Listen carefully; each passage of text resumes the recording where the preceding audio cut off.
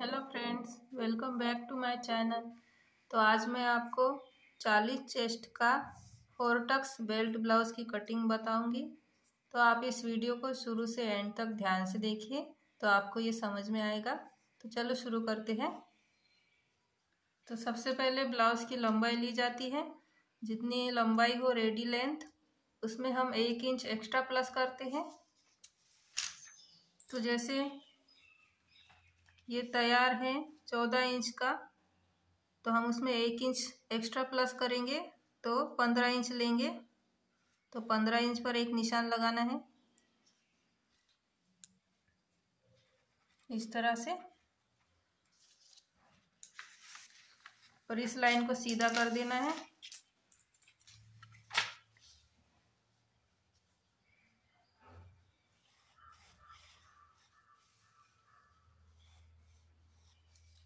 इस तरह से। अब यहीं से हम शोल्डर लेंगे। तो शोल्डर हम साढ़े पाँच इंच लेंगे, क्योंकि डीप गला है तो उसके हिसाब से साढ़े पाँच इंच शोल्डर लेना है। साढ़े पाँच इंच पर निशान लगा देना है।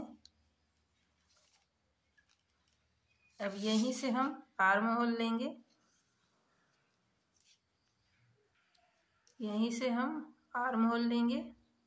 तो चालीस चेस्ट है। चालीस साइज़ का ब्लाउज है ये। तो उसके हिसाब से आर्म होल हम साढ़े छः इंच लेंगे। साढ़े छः इंच। और इस लाइन को ऐसे सीधा कर देना है।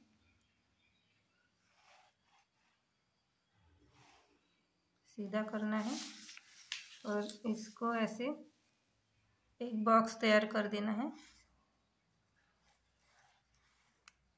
इस तरह से। अब यहाँ से हम आर्म होल लेंगे। तो आर्म होल लेंगे हम। डेढ़ इंच। ये फ्रंट साइड का आर्म होल है और बैक साइड के लिए हम दो इंच पर निशान लगाएँगे, क्योंकि ये बड़ा साइज़ है, इसलिए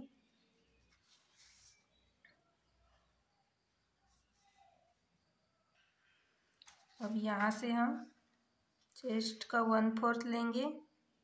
तो चेस्ट का वन फोर्थ चालीस चालीस इंच है तो हम वन फोर्थ लेंगे।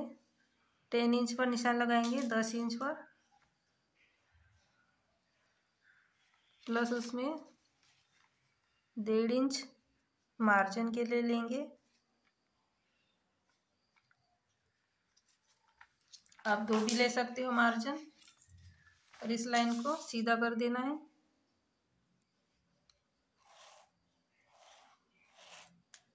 इस तरह से। और यहाँ से हम थोड़ा गोलाई दे देंगे आर्म होल की। इस तरह से गोलाई दे देना है। ये बैक साइड की है और ये है फ्रंट साइड की।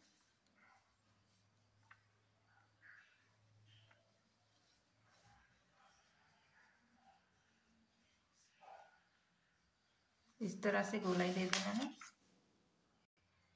अब हम गले की चौड़ाई लेंगे। यहाँ से तो ढाई इंच पर निशान लगाना है। और यहीं से हम गले की लंबाई लेंगे फ्रंट साइड की। तो छः इंच पर निशान लगाना है। साढ़े छः इंच पर निशान लगा देना है, क्योंकि छः इंच तैयार है। तो साढ़े छः इंच पर निशान लगाना है।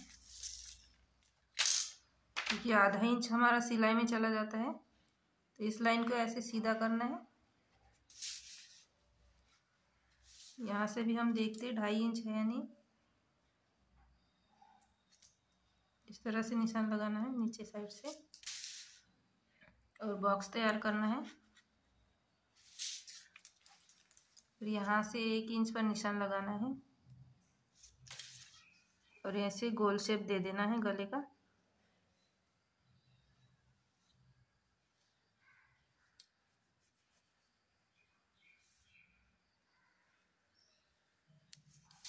इस तरह से गोल शेप दे देना है। अब हम शोल्डर के पास ऐसे टेप रखेंगे और यहाँ से, यहाँ तक बारह इंच पर निशान लगाएँगे। बेल्ट के लिए। बारह इंच पर निशान लगा देना है। और इस लाइन को ऐसे सीधा कर देना है।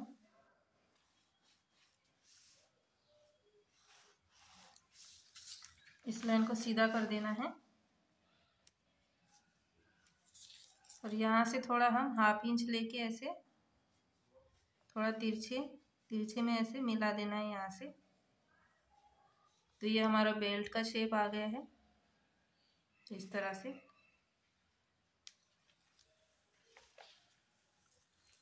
अब हम टक्स के लिए निशान लगाएँगे। तो यहाँ से हम इस तरह से टेप रखेंगे और चार इंच पर निशान लगाएँगे। चार इंच पर निशान लगाना है। यहाँ से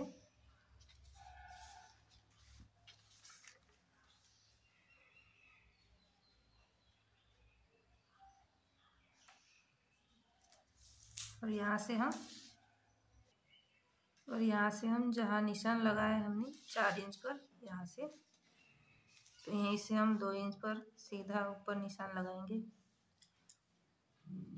यहाँ पर, और एक सीधी लाइन खींच देंगे। तो ये हमारा मेन टक्स हो गया है।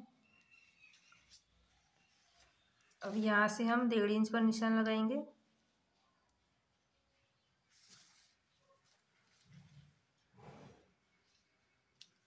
यहाँ से भी हम डेढ़ इंच पर निशान लगाएँगे। यहाँ से हम ऐसे सीधा कर देंगे आर्म होल में मिला देंगे। इस तरह से।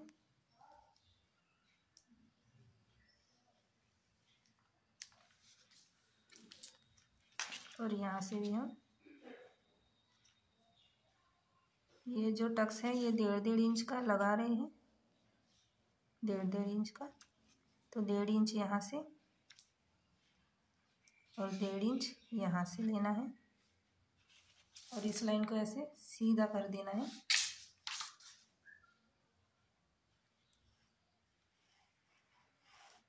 इस तरह से सीधा कर देना है। अब यहाँ से हम इसका सेंटर निकालेंगे। तो ऐसे टेप रख के एक सेंटर पे निशान लगा देना है। इस तरह से। और ऐसे इसको तिरछे में लेना है थोड़ा। यहाँ से भी हमको डेढ़ इंच लेना है, ऊपर की साइड। तो ऐसे थोड़ा तिरछे में लेना है।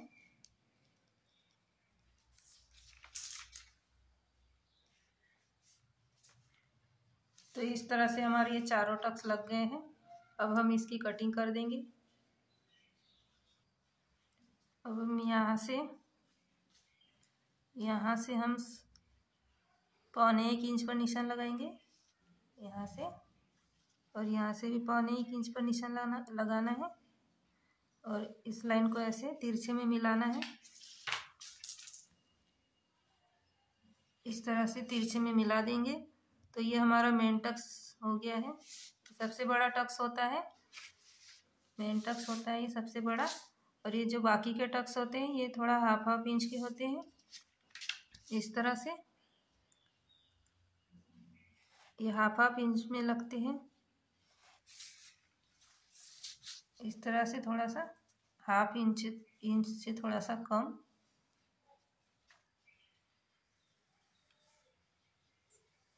इस तरह से टक्स लगते हैं ये। और जो सबसे बड़ा टक्स होता है, ये यही होता है और बाकी के जो तीन टक्स होते हैं, वो थोड़ा हाफ़ हाफ़ इंच के लगते हैं। तो अब हम इसकी कटिंग कर देंगे।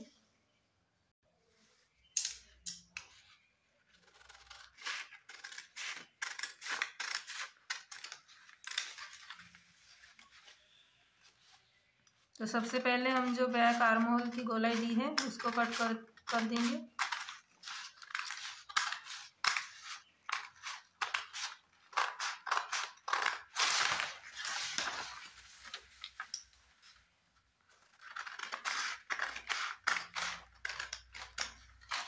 इस तरह से।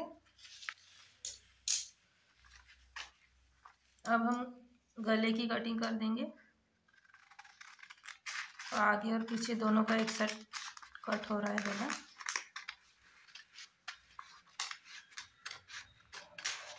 इस तरह से। अब हम बेल्ट की कटिंग करेंगे। यहाँ से। यहाँ से कटिंग करना है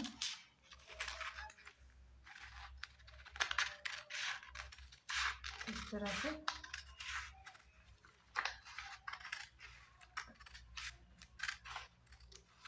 तो ये हमारी बेल की कटिंग हो गई है। अब जो हमने फ्रंट साइड की गोलाई दी थी यह कट कर देंगे हम।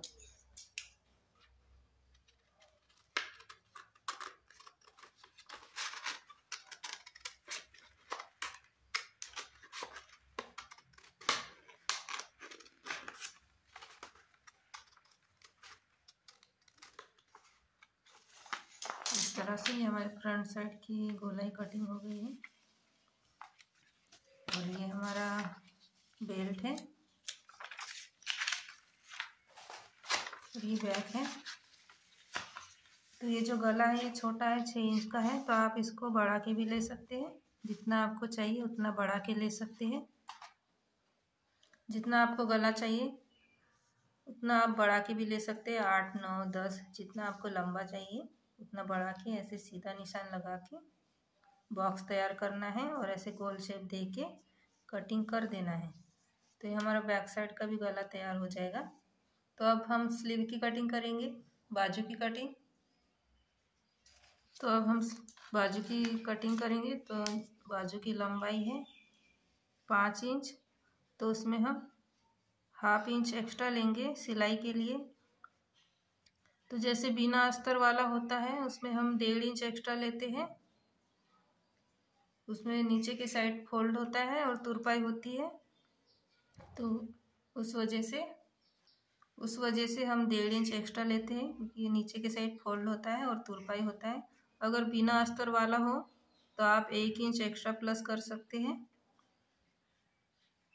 अस्तर वाला हो तो एक इंच एक्स्ट्रा प्लस कर सकते हैं। और बिना अस्तर वाला हो तो आप डेढ़ इंच एक्स्ट्रा ले सकते हैं। तो इसमें हाफ़ इंच एक्स्ट्रा लिया है सिलाई के लिए। पाँच इंच तैयार है लंबाई स्लीव की तो हम साढ़े पाँच लेंगे सिलाई के लिए हाफ़ इंच एक्स्ट्रा। अब हम यहीं से बाजू की चौड़ाई लेंगे। तो जैसे चेस्ट का वन फोर्थ है, चालीस चेस्ट है, उसका वन फोर्थ टेन है, दस है इंच तो दस इंच पर निशान लगाना है। इस तरह से। चेस्ट का वन फोर्थ लेते हैं। तो दस इंच है तो दस इंच पर निशान लगाया है। और इस लाइन को ऐसे सीधा कर देना है।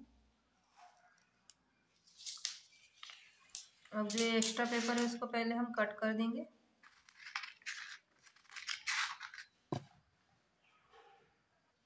जो एक्स्ट्रा पेपर था, उसको हमने कट कर दिया है। अब हम क्या फाइट लेंगे? क्या फाइट लेंगे हम? तीन इंच तीन इंच पर निशान लगाना है। यहाँ से एक इंच सीधा करना है, इस तरह से। और यहाँ से भी हमको एक इंच एक्स्ट्रा लेना है। और यहाँ से ऐसे गोल शेप दे देना है, बाजू का।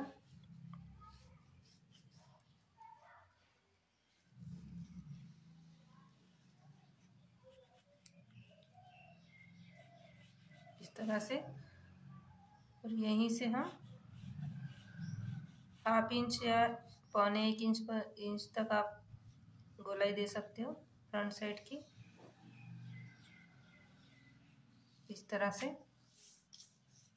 अब जैसे बॉटम है मोरी है स्लीव की साढ़े छः इंच तो साढ़े छः इंच पर निशान लगाना है प्लस डेढ़ इंच सिलाई मार्जिन लेना है, जो हम ब्लाउज में लेते हैं, वही स्लीव में लेते हैं, और इसको ऐसे तिरछे में मिला देना है, इस तरह से, अब हम कटिंग कर देंगे। तो जो यहाँ से एक्स्ट्रा पेपर है, उसको कट कर देंगे। इस तरह से। यहाँ से जो बैक साइड की गोलाई दी है, पहले वहाँ से कट करेंगे। इस तरह से।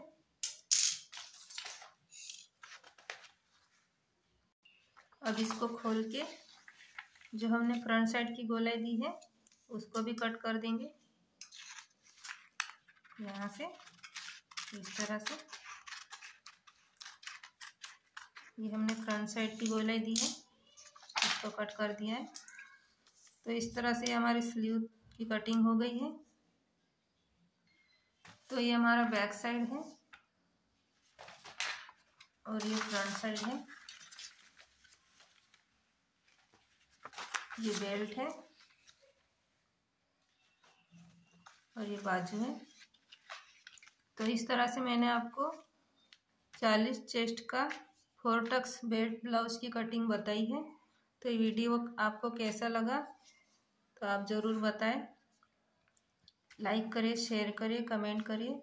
और अगर हमारे चैनल पर आप नए हैं तो सब्सक्राइब करिए एकदम फ्री होता है। और साथ में और साथ में जो बेल आइकन होता है, उसको भी प्रेस करना है, ताकि जो भी हम नए वीडियो अपलोड करें नए वीडियो डाले तो सबसे पहले आपको नो, नोटिफिकेशन मिल जाएगा। तो thank you for watching video